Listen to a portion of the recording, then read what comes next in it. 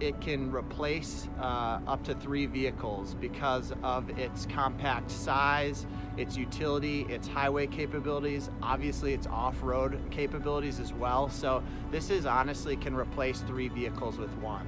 It was a couple of years ago, the state of Oregon identified a need for a high wheel rescue vehicle within the state of Oregon that was deployable across the entire state.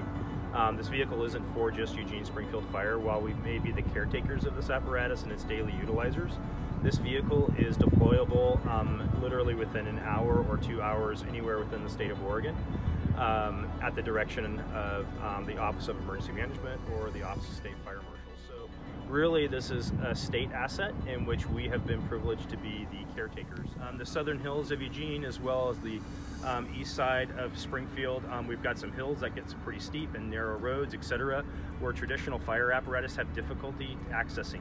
Specifically, we have difficulty accessing patients. Patients still um, experience medical events and snow emergencies and may be isolated or cut off from their traditional um, access to emergency services.